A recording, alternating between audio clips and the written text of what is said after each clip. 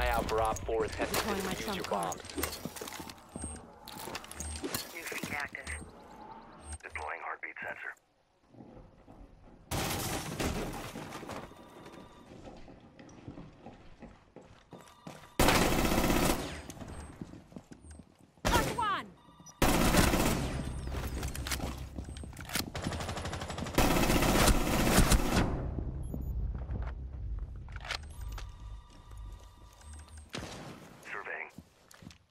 Be advised, Op 4 has located a bomb.